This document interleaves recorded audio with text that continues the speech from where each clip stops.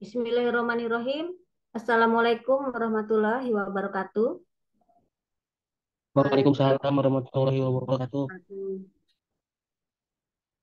Alhamdulillah, puji syukur kehadirat Allah Subhanahu wa taala yang telah melimpahkan karunia-Nya sehingga kita bisa bertemu pada pertemuan ke-11 perkuliahan hari ini.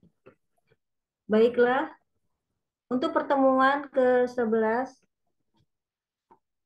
kalian sudah Ibu kasih tugas ya Senin lalu uh, untuk membuat presentasi tentang pemodelan berorientasi objek. Baiklah, kita lanjutkan lagi presentasi mahasiswa yang tahap kedua. Jadi, untuk tugas presentasi ini ada empat kali pertemuan ya, dan Ibu harap setiap mahasiswa minimal satu untuk mempresentasikan tugas-tugas yang sudah Ibu berikan ya. Jadi setiap mahasiswa itu presentasinya beda-beda judul sesuai dengan pertemuan materi pertemuannya. Oke, baik untuk hari ini bagi yang sudah siap bisa memulai presentasinya.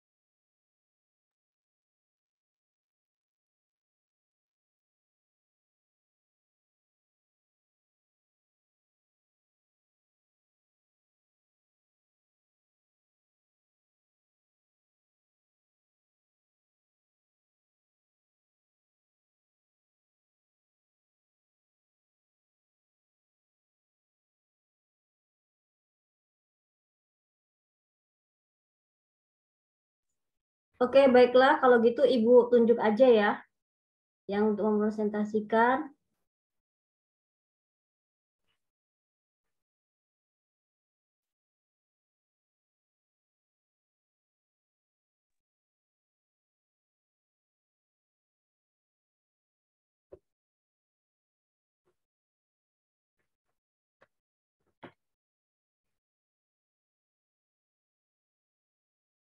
Muhammad Yahya ada?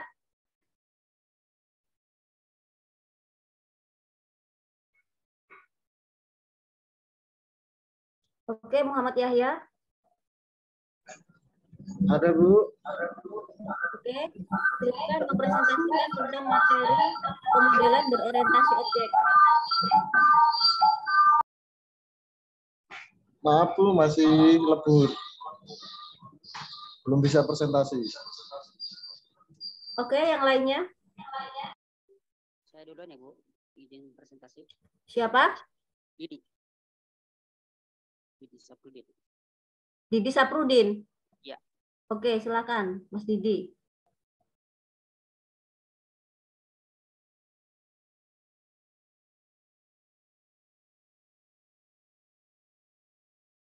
Udah kelihatan, Bu? Semuanya.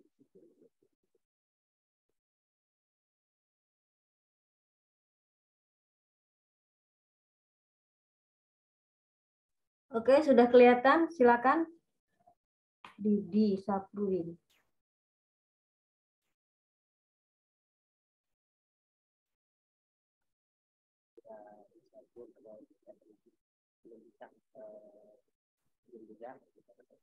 Suaranya agak dikeraskan ya.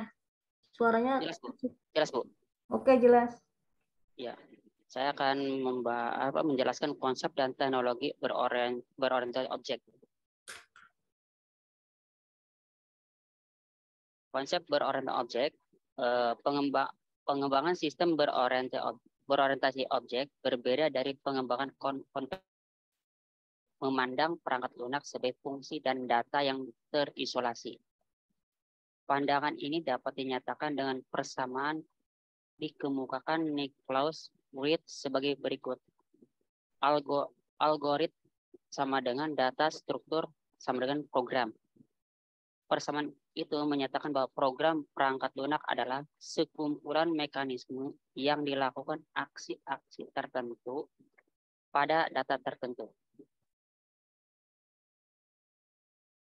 Dengan demikian, pada pendekatan tersebut terdapat dua hal yang berbeda yang saling melengkapi dalam memandang pemba- pembangunan perangkat lunak. Ya, satu, dapat berfokus pada fungsi, dua, berfokus pada data. Pada pendekatan konvensional, kebanyakan berfokus pada fungsi. Namun juga terdapat pendekatan yang fokus pada data, terutama pada basis data dan pemo- pemodelan informasi. Sedangkan berorientasi objek berpusat pada objek yang mengkombinasikan data dan fungsionalitas. Pendekatan, pendekatan beror- berorientasi objek adalah cara memandang persoalan menggunakan model-model yang diorganisasikan seputar konsep objek yang meng- mengkombinasikan struktur data dan perilaku suatu entitas. Pada pendekatan berorientasi objek, blok pembangun utama sistem perangkat lunak adalah objek dan atau kelas.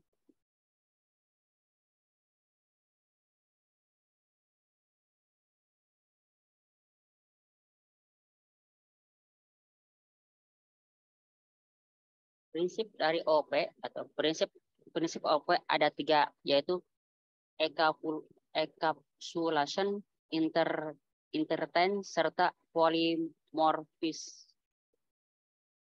Encapsul- Encapsulation adalah mekanisme pemrograman yang membungkus kode dan data dimanipulasi dan dan menja- menjaganya supaya terhindar dari interferensi dan penggunaan yang tidak perlu. Salah satu caranya dengan membentuk objek, sedangkan manfaat encapsulation adalah menyembunyikan implementasi detail sebuah kelas, sebuah kelas dan menyediakan publik metode. memaksa pengguna untuk menggunakan metode untuk mengakses data, membuat kode lebih terpelihara. Kedua, inter inheritance. Inheritance memungkinkan programmer meletakkan member yang sama dalam suatu kelas dan kelas-kelas lain dapat mewarisi memberi tersebut member tersebut.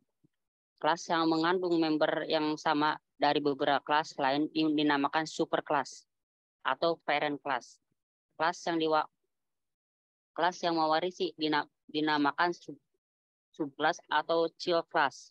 Inter inheritance menghasilkan kelas hierarki ketiga. Ketiga, polimorfisme.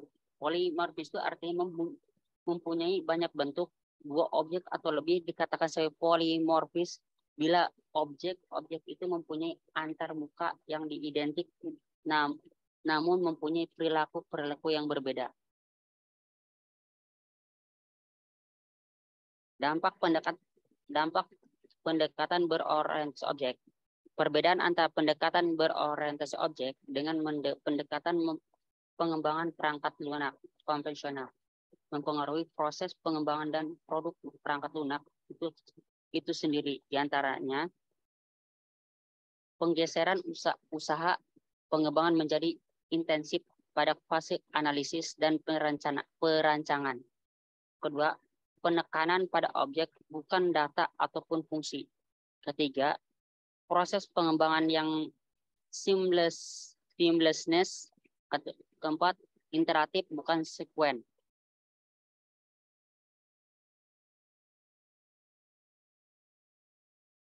Keunggulan pendekatan berorientasi objek. Keunggulan pendekatan berobjek adalah bekerja yang mendekati kondisi manusia kognisi manusia kedua menghasilkan sistem yang membangun di atas bentuk-bentuk antara yang stabil. Dengan demikian, lebih mampu untuk mengikuti perubahan. Ketiga, dapat digunakan tidak hanya pada perencanaan perangkat lunak, tetapi juga seluruh proses pengembangan perangkat lunak. Keempat, memproduksi resiko pengembangan sistem-sistem kompleks. Kelima, dapat membantu mengeksploitasi kemampuan bahasa pemrograman berbasis objek.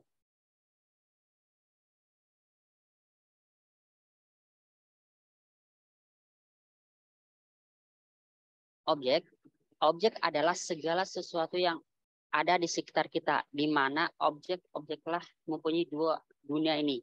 Misalkan manusia, gunung, mobil, becak, dan lain-lain.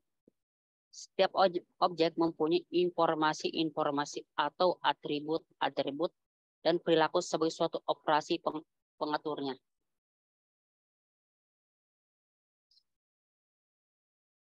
Atribut-atribut objek contohnya adalah jumlah tangan, jumlah kaki, jumlah roda, warna, berat, dan seterusnya. Sedangkan operasi-operasi pengatur objek contohnya adalah perjalanan, meletus, belok kanan, belok kiri, menaikkan menaikkan kecepatan dan seterusnya.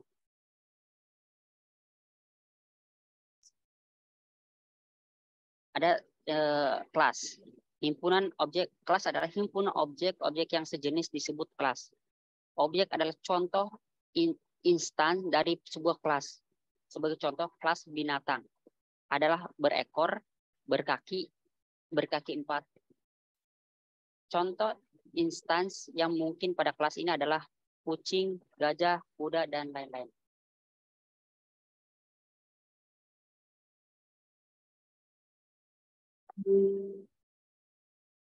Oh, yang tadi penjelasan encapsulation ya. Encapsulation pengapsulan sering disebut dengan menyembunyikan informasi-informasi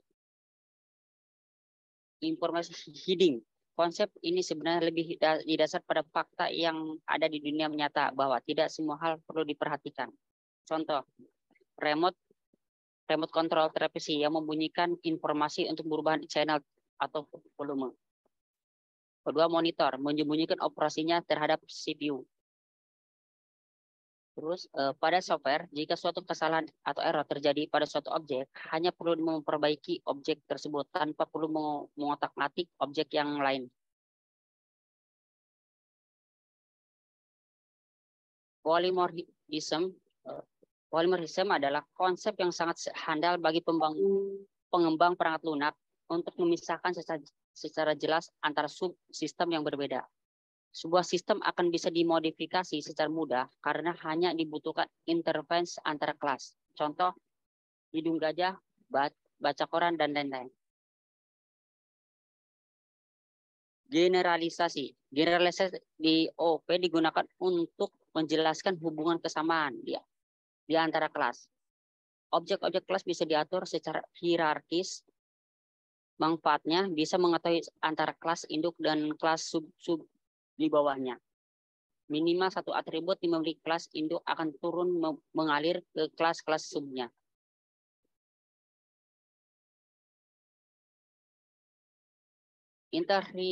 Interheritance yang dimaksud dengan interheritance adalah apa pun atribut dan operasi dari kelas induk akan dimiliki juga oleh semua objek yang di inherit atau diturunkan dari kelas tersebut. Sifat ini tidak hanya perlu untuk objek terhadap kelas, tetapi juga ber, berlaku untuk kelas terhadap hmm. kelas lainnya.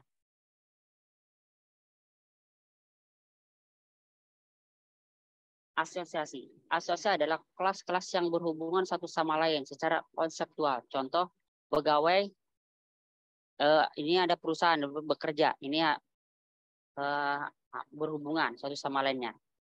Ketika sebuah kelas ber, berasosiasi dengan yang lain, setiap kelas biasanya memainkan peran pada asosiasi tersebut. Pegawai, eh, terus perusahaan ini bekerja untuk nih, bekerja dan memberi pekerjaan. Perusahaan itu memberi pekerjaan, pegawai pemberi kerja. Ada saling berhubungan.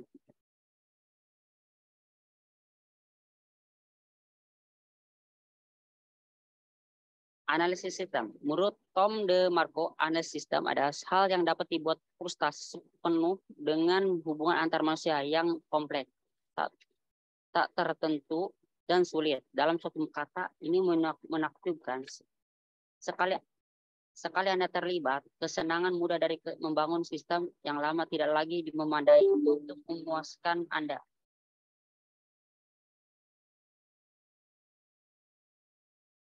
Analisis sistem menurut Yogianto Ham, analisis sistem adalah penguraian dari suatu sistem informasi yang yang utuh untuk ke dalam ke dalam bagian-bagian komponennya. Dengan maksud untuk mengidentifikasi dan mengevaluasi permasalahan permasalahan kesempatan-kesempatan hambatan-hambatan terjadi dan kebutuhan-kebutuhan yang diharapkan sehingga dapat diusahakan perbaikan-perbaikan. Tahap-tahap analisis sistem identifikasi understand analisis dan report. Eh, terus eh, metode analisis sistem berat objek yang berpopuler adalah metode Bosch, metode Rabuk atau OMT object, modeling teknik metode Jacobson, engineering, object oriented software engineering, metode Cost Jordan, metode Ware, Ware Brooks, metode rasional unified process, metode US USGP, dan metode metode metode Agile. Terima kasih Bu, udah Bu. Yang mau ditanyakan? Oke, baik ya. Uh, jadi yang dipresentasikan oleh Mas Didi Saprudin ya itu berkaitan tentang eh, hal-hal uh, di dalam pembuatan pemrograman berorientasi objek ya. Uh, jadi di sini pemodelan berorientasi objek itu uh, kalian bisa menjelaskan prinsip dasarnya dari objek apa, kemudian prinsip dasar dari kelas apa, kemudian uh, bagaimana hubungannya atau menerapkan uh, objek dan kelas ya. Oke, baik. Nggak apa-apa ya. Ini juga untuk apa? Untuk pengembangan ke depannya supaya kalian nanti lebih tahu tentang pemrograman berorientasi objek. Oke, baik. Terima kasih, Mas Didi. Oke, terima kasih. Saya Oke.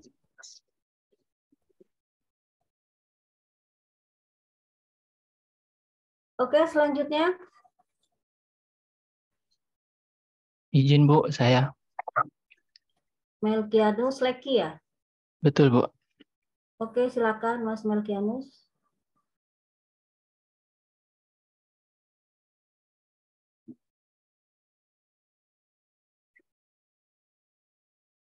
Terima kasih Bu untuk waktu dan kesempatannya. Saya akan memulai saja review pemodelan berorientasi objek. Apa itu OOP? OOP merupakan kepanjangan dari Object Oriented Programming atau dalam bahasa Indonesia disebut pemrograman berbasis objek atau PBO.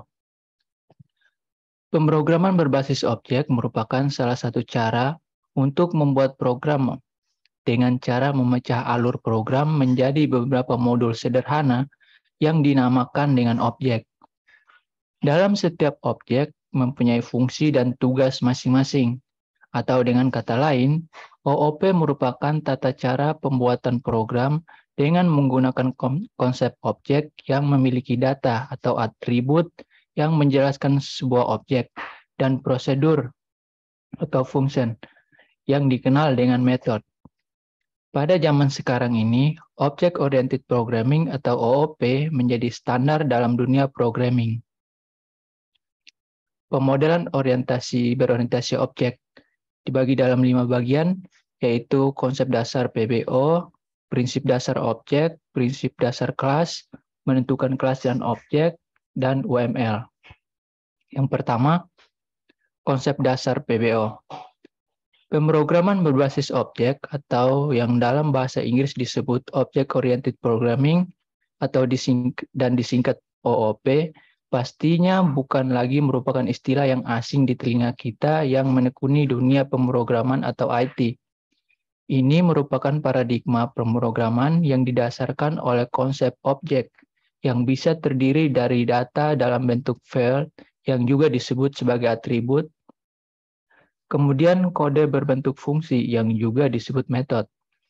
Semua data dan fungsi tersebut dikemas dalam kelas-kelas atau disebut juga objek-objek. Jika dibandingkan dengan pemrograman yang terstruktur, setiap objek dalam OOP dapat menerima pesan dan mengirimkan pesan kepada objek lainnya serta melakukan pemrosesan data. Model data dalam pemrograman berorientasi objek atau OOP dapat memberikan fleksibilitas lebih untuk mengubah sebuah program, sehingga dapat digunakan secara luas untuk software yang memiliki skala besar sekalipun. Yang kedua, prinsip dasar objek. Objek merupakan hasil cetakan dari sebuah kelas. Sebagai contoh analogi dari sepeda motor, maka objek dari kelas sepeda motor dapat berubah. Sepeda motor saya, sepeda motor dia, dan lain-lain Objek dari kelas sepeda motor dapat memiliki seluruh ciri-ciri sepeda motor, yaitu properti dan metode. Proses mencetak sebuah objek dari kelas disebut instansiasi. instansiasi. Dalam PHP, proses tersebut dilakukan menggunakan keyword new. Hasil cetakan kelas disimpan dalam variabel, kemudian selanjutnya digunakan dalam proses sebuah program. Yang ketiga, prinsip dasar kelas. Kelas merupakan blueprint atau cetak biru dari objek. Kelas digunakan untuk membuat kerangka dasar yang nantinya has, ah, yang nanti hasilnya akan berupa objek. Sebagai contoh, kelas sebuah sepeda motor. Kita tahu bahwa sepeda motor mempunyai ciri-ciri seperti merek, warna, jenis, dan berbagai khas lain yang menyatakan sebuah benda tersebut adalah sepeda motor. Kelas dapat dianalogikan sebagai gambaran umum tentang sebuah benda. Yang keempat, menentukan kelas dan objek. Kelas dan objek merupakan satuan yang berbeda.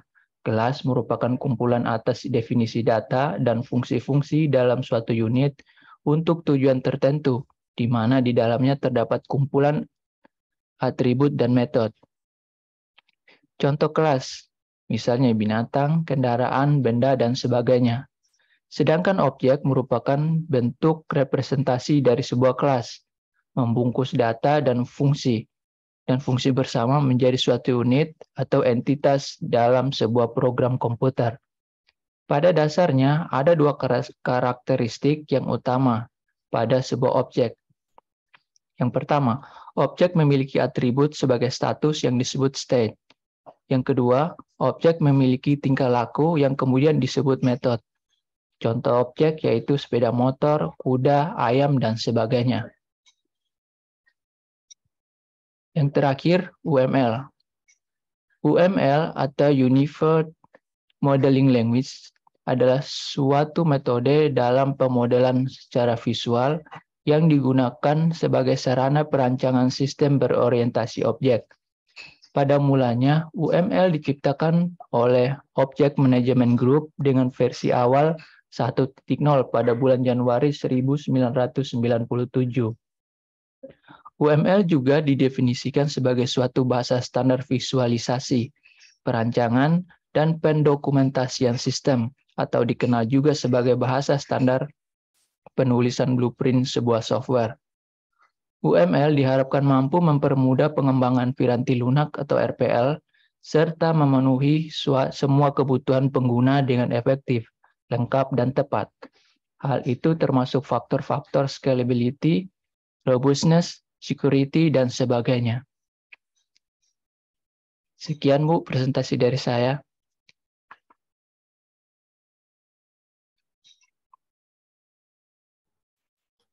Oke, baik ya.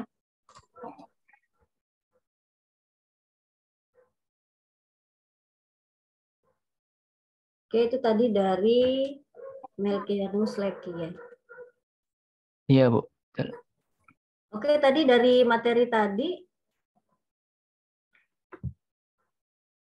hubungan antara objek dan kelas prinsip dasarnya seperti apa? Di situ tadi dijelaskan tidak antara objek dan kelas.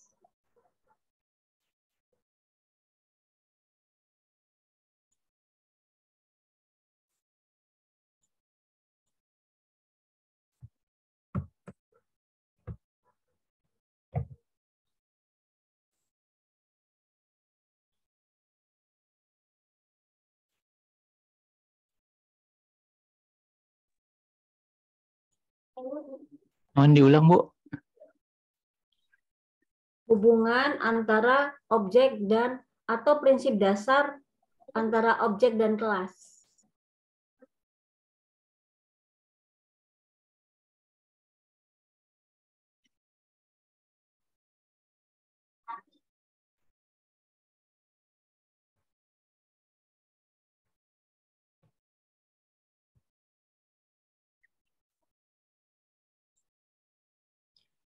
Jadi maksudnya eh, bagaimana menentukan objek dan kelasnya?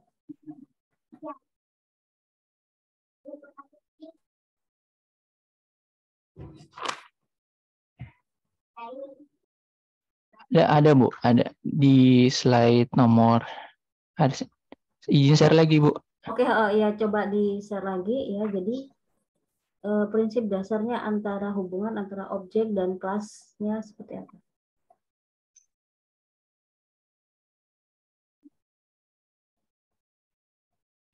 Oke, coba silakan di itu diulang. Objek merupakan hasil cetakan dari sebuah kelas. Sebagai contoh analogi dari sepeda, sebuah sepeda motor, maka objek dari kelas sepeda motor dapat berupa sepeda motor saya, sepeda motor dia, dan lain-lain.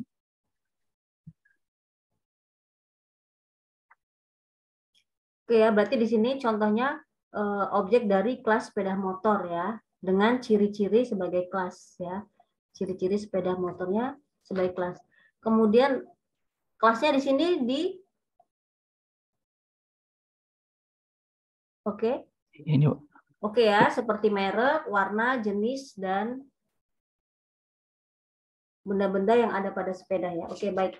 Oke, baik. Uh, terima kasih ya. Berarti uh, sudah tahu antara hubungan antara objek dan kelas. Terima kasih, Bu. Oke, baik. Uh, untuk yang lain? izin share belum? Oke, Muhammad Farchan Setiawan. Oke, silakan.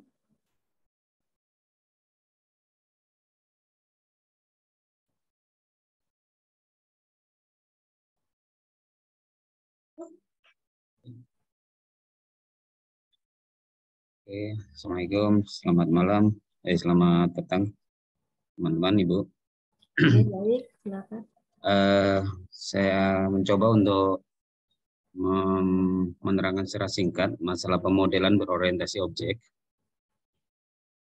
Kali ini agenda kita adalah membahas masalah konsep pemodelan, prinsip dasar kelas, prinsip dasar objek, contoh kelas dan objek, dan yang terakhir adalah UML. Oke, sip. Oke, yang pertama konsep pemodelan.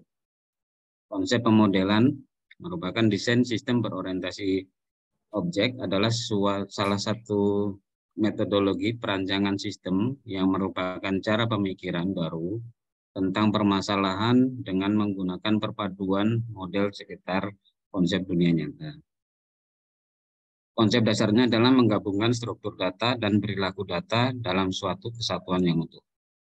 Karakteristik pendekatannya berorientasi objek, meliputi identitas, klasifikasi, polymorphism, dan inheritance. Sedangkan tema yang mendasari teknologi objek adalah abstraksi, enkapsulasi, mengkombinasikan data dan perilaku serta seri. Dan prinsip dasar dari kelas merupakan kelas merupakan cetak biru atau blueprint dari objek. Atau dengan kata lain, sebuah kelas menggambarkan ciri-ciri objek secara umum. Sebagai contoh, Suzuki Smash, Yamaha Vega R, Honda, Honda Supra Fit, Kawasaki KZ merupakan objek dari eh, sepeda motor, dari kelas sepeda motor. Jadi eh, sepeda sepeda motor adalah kelas, kemudian objeknya adalah eh, secara detail eh, merupakan model-model dari eh, kendaraan motor sendiri. Suzuki, Yamaha, Honda, Suzuki, Smash, dan objek objek lainnya memiliki kesamaan atribut seperti merek, tipe, berat, kapasitas bensin, tipe mesin, warna, harga, dan lain-lain. Dan metode untuk mengakses data pada atribut, misalnya fungsi untuk menginputkan data merek, tipe, berat, seperti fungsi mencetak data tipe tersebut. Sehingga kelas merupakan tempat untuk membuat objek, dan di dalam kelas akan dideklarasikan variabel atau atribut dan metode yang dapat yang dalam istilah prosedurnya dikenal sebagai fungsi atau prosedur. Proses pembuatan objek dari sebuah kelas disebut instansi, ins- instansiasi.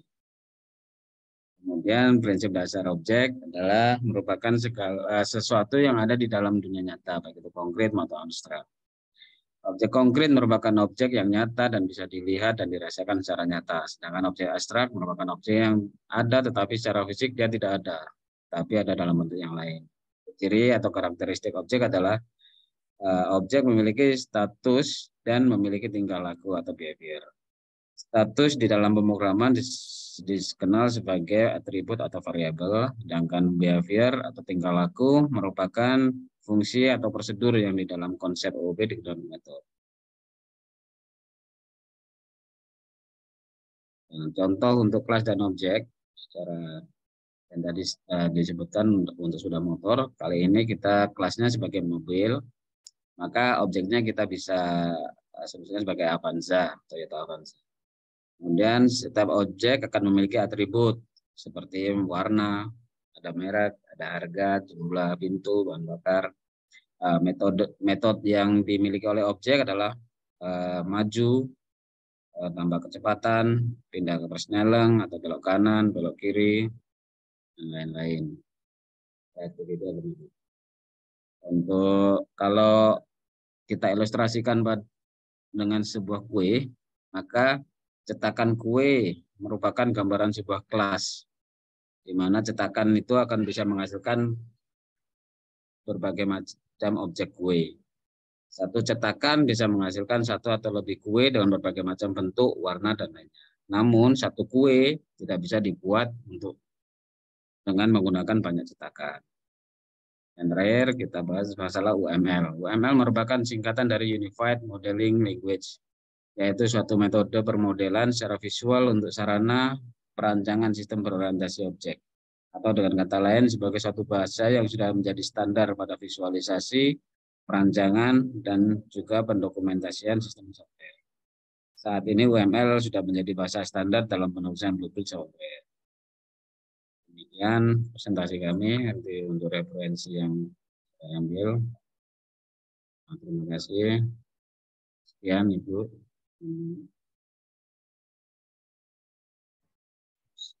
Oke, terima kasih eh, Pak Farcan Setiawan ya. Oke, masih ada beberapa menit ya, ada beberapa menit sebelum kita menunaikan sholat maghrib. Satu lagi,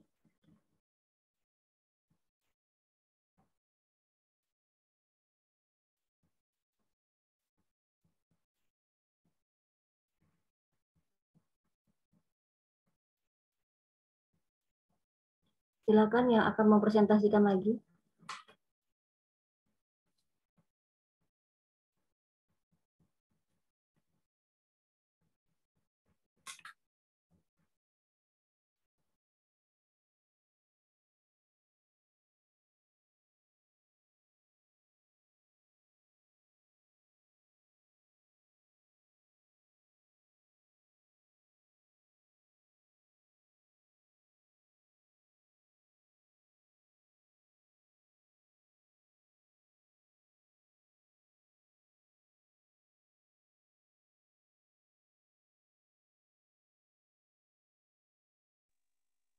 Izin untuk presentasi boleh, Bu?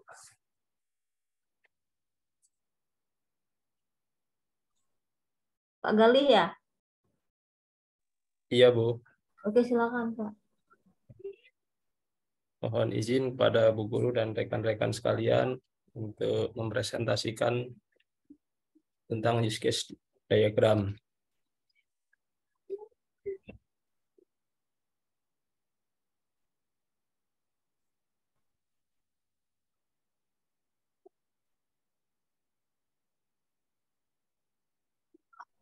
Pak Galih, Iya, Bu.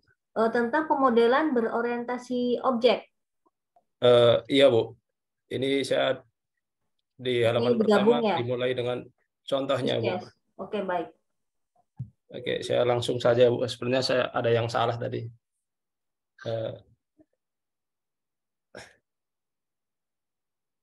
eh, ini tentang sebuah contoh use case diagram. Eh, di sini eh, saya mencoba menggambarkan untuk eh, sistem di mesin ATM, eh, yakni ada beberapa aktor yang terlibat dari use case diagram di atas, yakni ada nasabah, bank, dan operator, disimbolkan dengan gambar orang-orangan.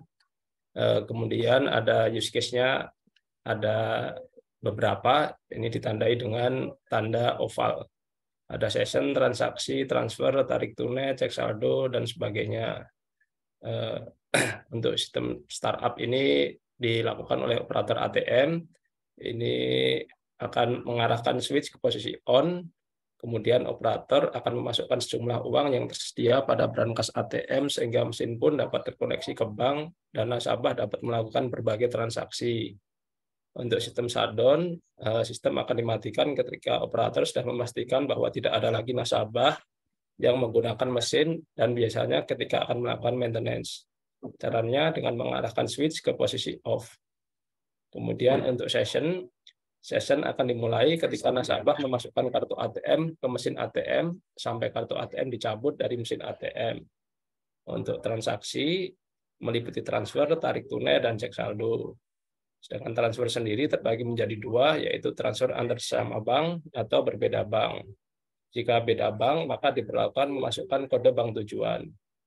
Untuk tarik tunai eh, merupakan proses menarik uang dari saldo, biasanya tertera pada menu tampilan utama. Sedangkan yang terakhir, cek saldo berfungsi untuk mendapatkan suatu informasi pada rekening seorang nasabah terkait saldo yang dimiliki. Kemudian untuk konsep dasar PBO. Konsep dasar PBO adalah bahwa semua pemecahan masalah dibagi ke dalam kelas. Dalam PBO, data dan fungsi-fungsi yang akan mengoperasikan data digabungkan menjadi satu kesatuan yang bisa disebut sebagai kelas. Fungsi kelas terletak pada fungsi anggota atau member function. Jika kita ingin membaca data dalam objek, maka kita harus memanggil function anggota atau member function dalam sebuah objek. Hanya melalui cara ini eh, kita dapat mengakses data. Jadi kita tidak bisa mengakses data secara langsung seperti dalam konsep pemrograman tra tradisional atau konseptual. Pengaksesan data seperti pada PBO ini dikenal sebagai pengkapsulan data. Pengkapsulan data atau data encapsulation dan penyembunyian, data merupakan kunci pengertian pemrograman berorientasi objek. Eh, prinsip dasar objek. Objek adalah turunan dari kelas saat kita membuat objek berdasarkan kelas, kita membuat instance spesifik dari tipe objek tersebut dengan kumpulan data dan perilakunya sendiri. Misalnya, jika kita membuat objek bernama Persia berdasarkan kelas kucing, Persia menjadi jenis kucing tertentu dengan nama, jenis kelamin, dan umurnya. Persia juga dapat melakukan tindakan yang ditentukan dalam kelas kucing, seperti mengeong ataupun mencakar.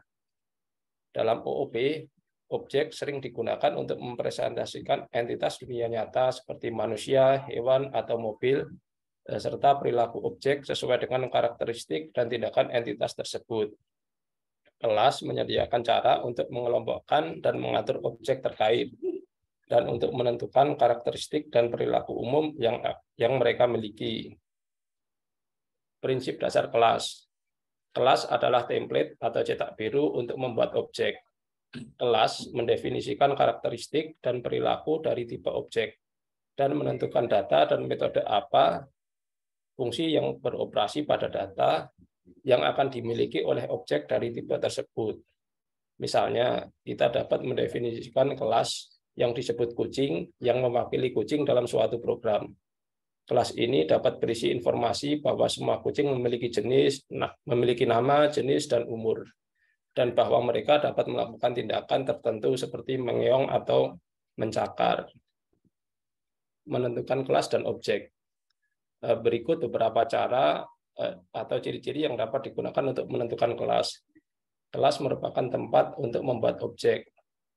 Eh, yang kedua, di dalam kelas akan dideklarasikan variabel atau atribut dan metode yang dalam istilah prosedural dikenal sebagai fungsi dan prosedur. Yang ketiga, proses pembuatan objek dari sebuah kelas disebut dengan instantiation. Ciri-ciri atau karakteristik objek. Objek itu memiliki status atau state dan memiliki tingkah laku atau behavior. Status di dalam pemrograman itu dikenal dengan istilah atribut ataupun variabel. Eh, tingkah laku atau behavior merupakan fungsi atau prosedur yang di dalam konsep OOP dikenal dengan metode UML. UML atau Unified Modeling Language adalah suatu metode dalam pemodelan secara visual yang digunakan sebagai sarana perancangan sistem berorientasi objek. Awal mulanya UML diciptakan oleh Object Management Group dengan versi awal 1.0 pada bulan Januari 1997. UML juga dapat didefinisikan sebagai suatu bahasa standar visualisasi, perancangan, dan pendokumentasian sistem atau dikenal juga sebagai bahasa standar penulisan blueprint sebuah software. OML diharapkan mampu mempermudah pengembangan piranti lunak atau RPL serta memenuhi semua kebutuhan pengguna dengan efektif, lengkap, dan tepat. Hal itu termasuk faktor-faktor scalability, robustness, security, dan sebagainya. Eh, sekian dari kami, kurang lebihnya mohon maaf. Terima kasih.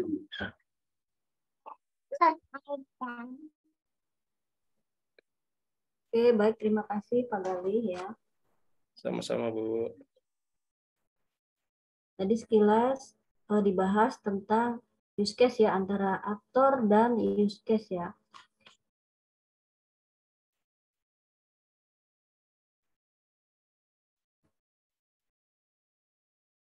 Oke, baik Ibu absen dulu.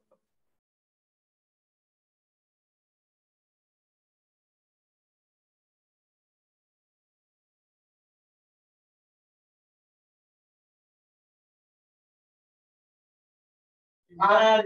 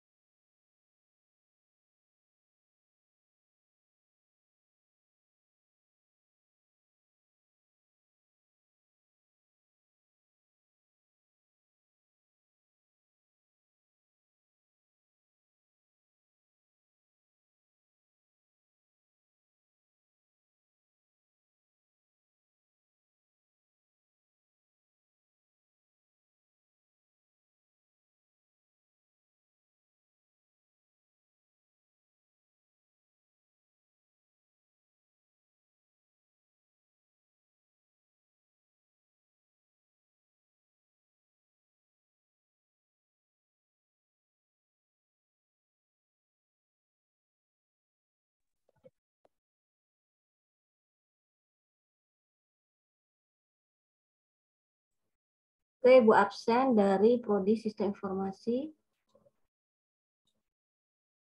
Angga Aditya, Hadir, Bu. Aprilian Dwi Cahyo, Hadir, Bu.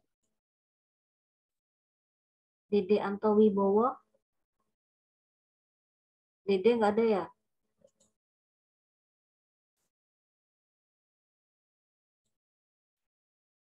Fajar Nur Sidik, Hadir, Bu. Gilang Setia Darmawan,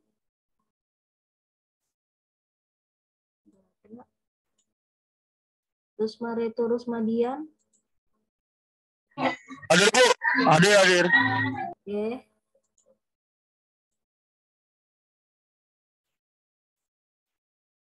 Muhammad Ramlan Dulugani, Hadir, Bu. Muhammad Ajam Asidik, Hadir, Bu. Nahda Herunisa,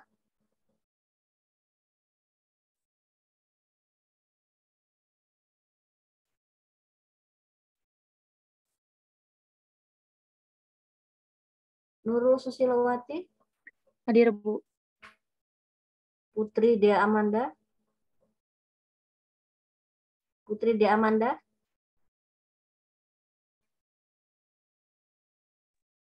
Bu, mohon izin, Dede Anton Wibowo hadir. oke. Terima kasih, Bu.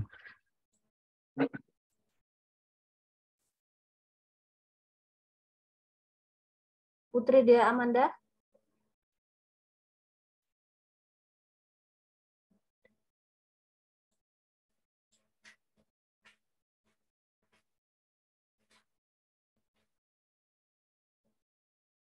Widuri Husnul Pratiwi, Hadir, Bu.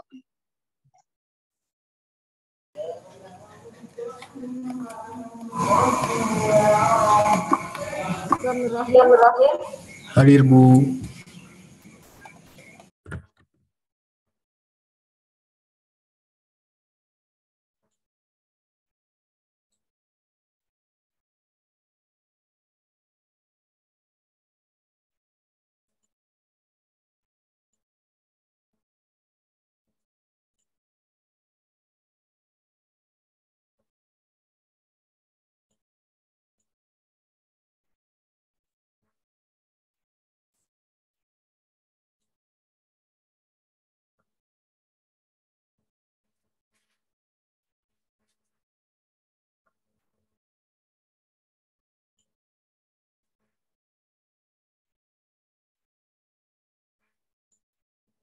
Oke, selanjutnya untuk Prodi Teknologi Informasi.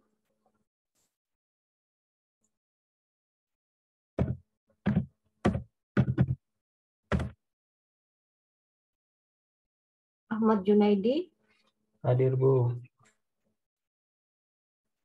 Haji Sabto Nurfalah, Haji Sabto Nurfalah, ada ya? Alexander Delmi Deli Marta, Hadir, Bu.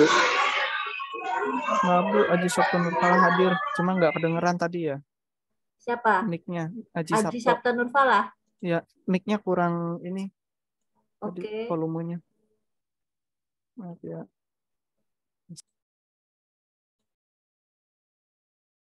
Deri Ridu Ivana, Hadir, Bu. Desi Triparwanti, Hadir, Bu. Didi Saprudin, ada ya. Dimas Agung Wibisono, oh, udah nggak ada ini ya. Sama Faiz. Oke. Fatah Fali Hilmi. Fatah. Fatah Fali Hilmi.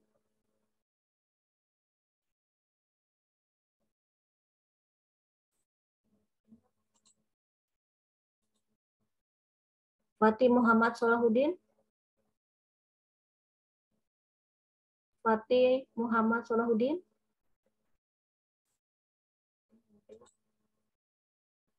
Galih ada tadi ya. Hadir, Bu. Oke. Kusmunadi. Kusmunadi. Hadir, Bu. Hadir, Bu. Ya. Melkianus.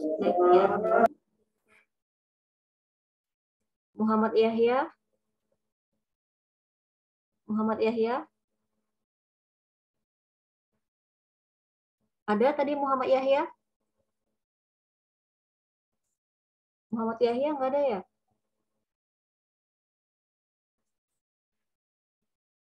Oke. Ini Muhammad Yahya.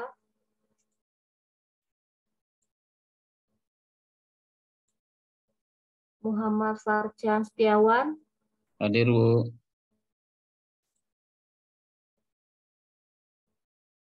Ini Mehimia nggak ada ya? Sakit, Bu. Oke. Fatma Jatmika juga nggak ada. Raden Ahmad Fauzi. Hadir, Bu. Hadir. Oke. Rafifah Adila. Hadir, Bu. Ria Puji Astuti. Eh, sedang trouble, Bu, jaringannya, Bu. Oke. Izin ya. Hadir, Bu. Sofian Fatku Najah. Hadir. Oke. Sofian Nur Rahmat. Nggak ada. Sarul Gufron.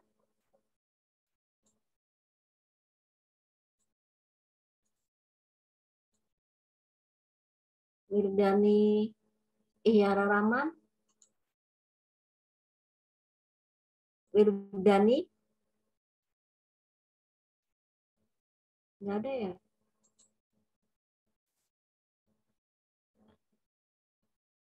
Yuli Widada Hadir, Bu. ada.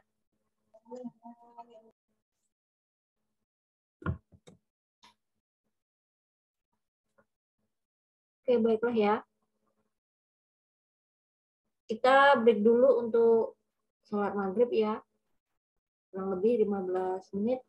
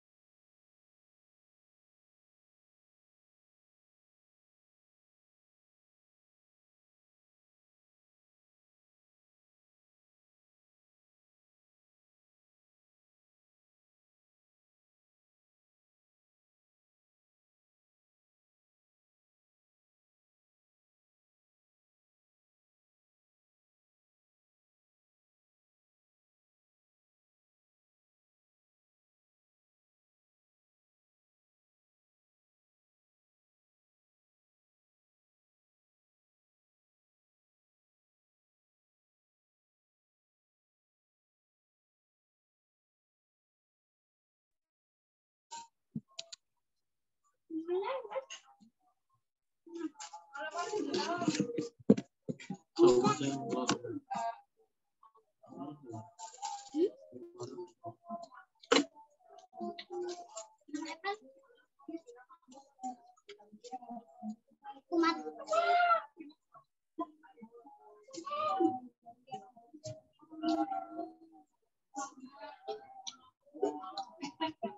paling ada pak.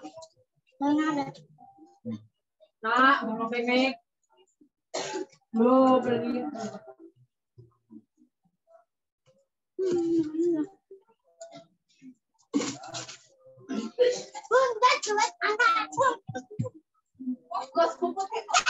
Ya? Apa? Ada. Apa? Mana utang. Iya.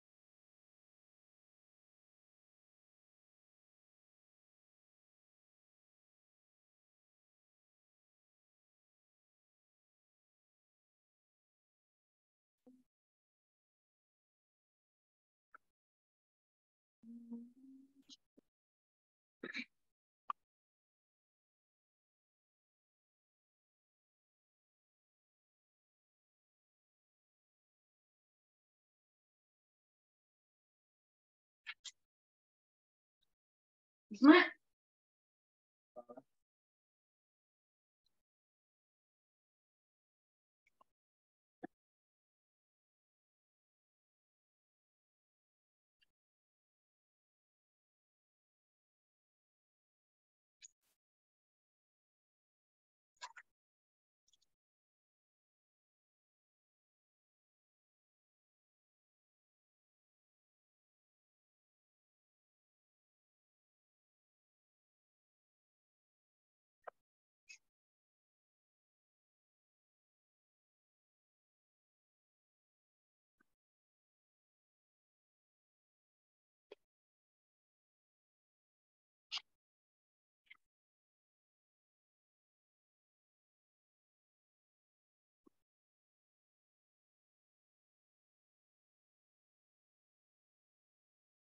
Ayo ini.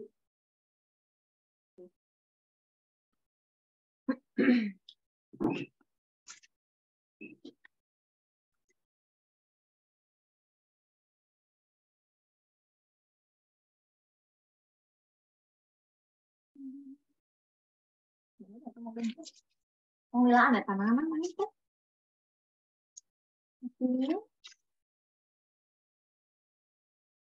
Nagrabe ito si mga ito. Oh, pag umana yun, kailangan kailangan ko.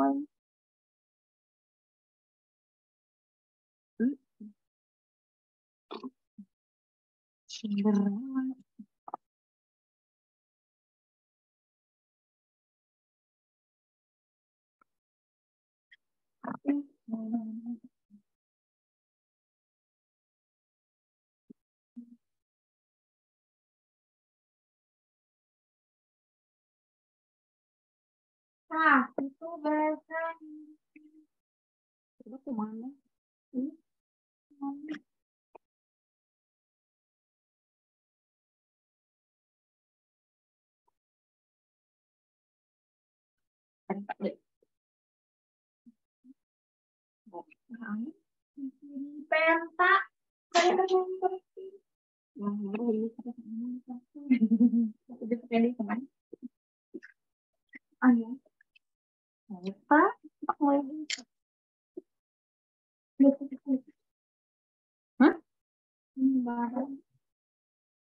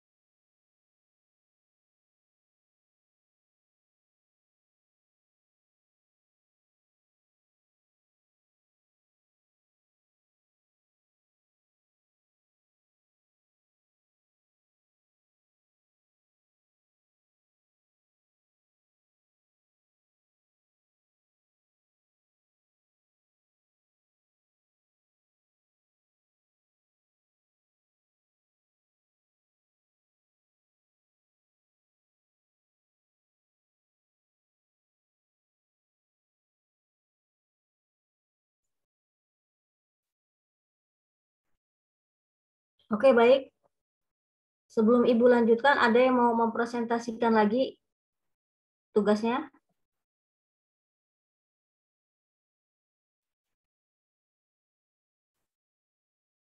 Oke ya, baiklah Ibu kasih tugas.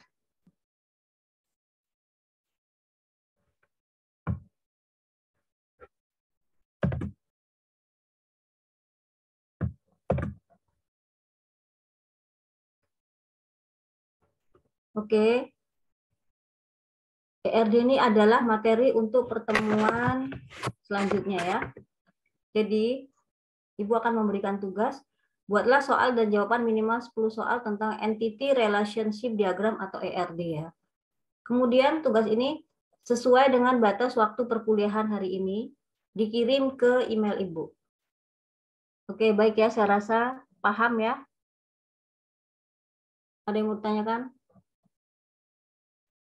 Oke. Silakan dikerjakan.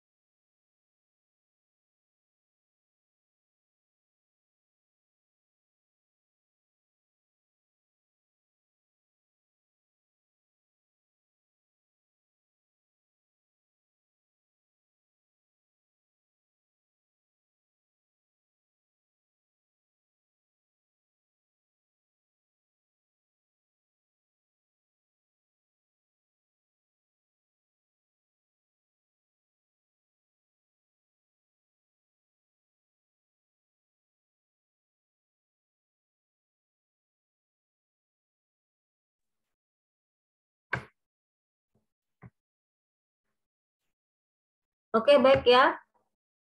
Selesaikan tugasnya. Kemudian untuk perkuliahan hari ini baiklah kita akhiri ya. Kurang lebihnya Ibu mohon maaf. Wabillahi taufiq hidayah. Wassalamualaikum warahmatullahi wabarakatuh. Waalaikumsalam. Waalaikumsalam. Terima kasih, Bu. Oke.